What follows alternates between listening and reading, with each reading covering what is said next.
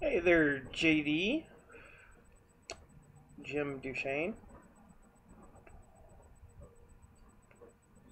Here's my VR to you, and howdy to everybody else out there on YouTube.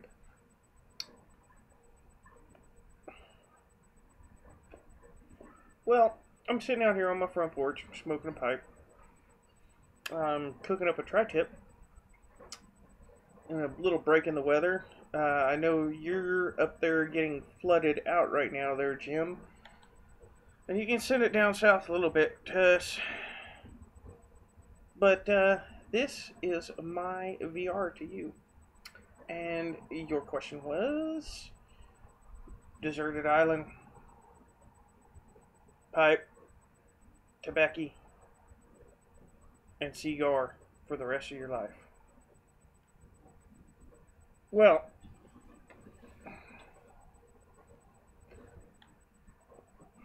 here we go.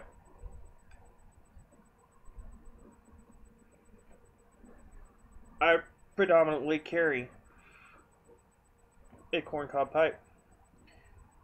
So, mine would be a corncob pipe. And that's where you're saying a corncob pipe isn't going to last. Well, since I was going out on the SS Minnow and I needed my survival gear, I went over to Max at Defiant Pipes and he's selling a kit right now. And there's the three C's of survival. And it is cutting, cordage, and cob. So it comes with a knife, it comes with some cordage, and it comes with genuine Missouri meerschaum seeds for growing corncob pipes. Imagine that. So I have my infinite amount of corncob pipes after I burn through my one pipe, which would be a country gentleman. Right now I'm smoking this just because. So I've got a corncob pipe and I've got my crop. And guess what? I'm far bred, so I can grow them. It is what it is. So then as I go trucking down this desert aisle with uh, Mary Ann, not Ginger. Mary Ann was a, a better one for me. Go trucking along. I go and I open up this box that has been busted open on the beach. Go and open it up. Look inside. Holy crap.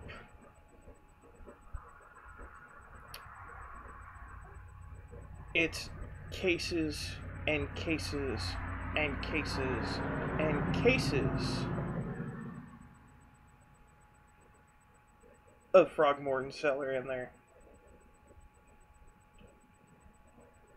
Jump for joy that it would be the rest of my life smoke right there.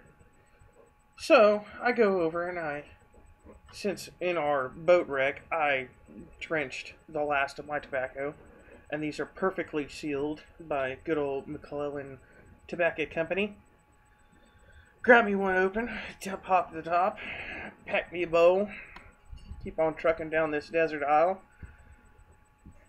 talk, talking around with sweet little Mary Ann,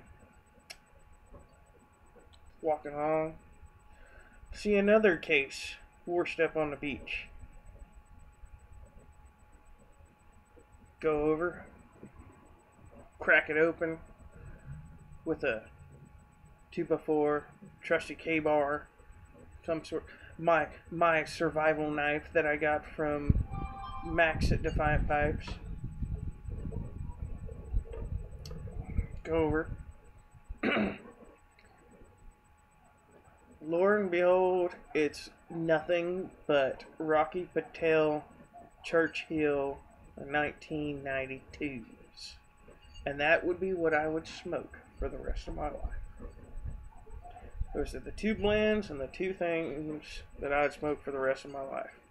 Of course, unless I happen to get myself a Jim Duchesne pipe. But, I don't know. That's just a little kissing up right there. So, take care, buddy.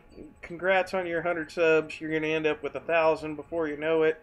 You are a true artisan. You come up with some beautiful pipes. And I hope really to own one one of these days. Take care. Bye bye.